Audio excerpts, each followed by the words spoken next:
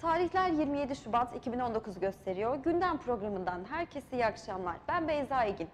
Bugünkü gündemimiz Ünye Belediye Başkan Adayı Berkay Torunoğlu ve Ordu Büyükşehir Belediye Başkan Adayı Mustafa Adıgüzel'in Ünye'de bulunduğu ziyaretler.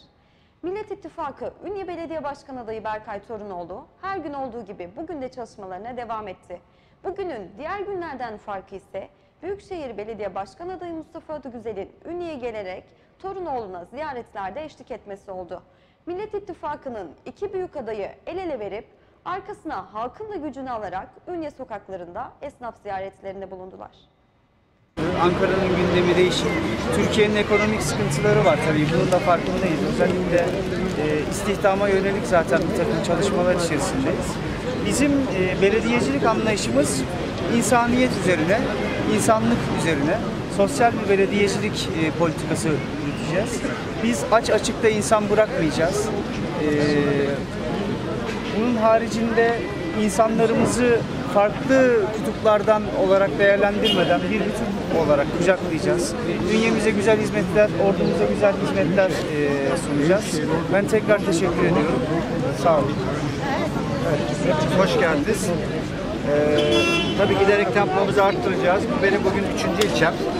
Burada Berkay kardeşime Ünye'de başarılar diliyorum. Birlikte seçim çalışması yapacağız. İyi Parti ve Cumhuriyet Halk Partisi ittifakını burada e, gerçek bir şekilde sahaya yansıtacağız. Bizim ittifakımız yapay bir ittifak değildir. Ta referandum sürecinden beri gelen ülkenin şartlarının getirdiği, mecbur kıldığı bir ittifaktır. Memleket şartlarından kaynaklanan bir ittifaktır. Ee, kişisel e, beklentiler üzerinden bir ittifak değildir. O yüzden e, biz bu reel gerçeklik üzerinden birlikte hareket ediyoruz. Ee, çağdaş, modern, katılımcı belediyelik anlayışını topraklara yerleştireceğiz. Şehirlerimizden köylerimize kadar, kılcal arterlerine kadar güzel hizmetleri sunacağız. Sosyal belediyecilik diyoruz, altyapı diyoruz, su diyoruz. Çok ciddi sorunlarımız var. Ee, sosyal belediyecilik olarak yardımlarda da yapacağız. Yani genel yönetimin yapması gerekip de yapamadığı her yeri de tamamlayacağız. Sosyal yardımdan bahsetmişken insanlara belli paketleri zoraki vermeyeceğiz.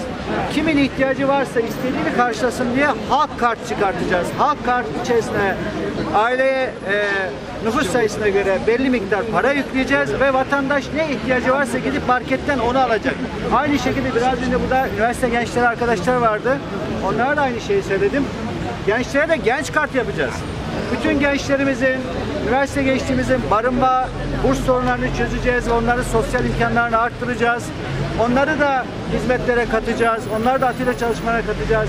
Yani biz bütün bazı toplumun öncelikli gruplarını, kadınlar gibi, gençler gibi, çocuklar gibi, yaşlılar gibi, engelliler gibi çocuk bu grupların tamamını öne çıkaran, bunların hassasiyetlerini öne çıkaran, eksikliklerini tamamlayan bir belediyecilik anlayışını sahaya yansıtacağız. Ordu'yu da, Ünye'yi de modern ve mutlu belediyeler kervanına katacağız. Biz burada çalışmalarımızı beraber yapıyoruz. Ee, arayan nifak to- tohumları serpmek isteyenler Ünye'yi görsünler.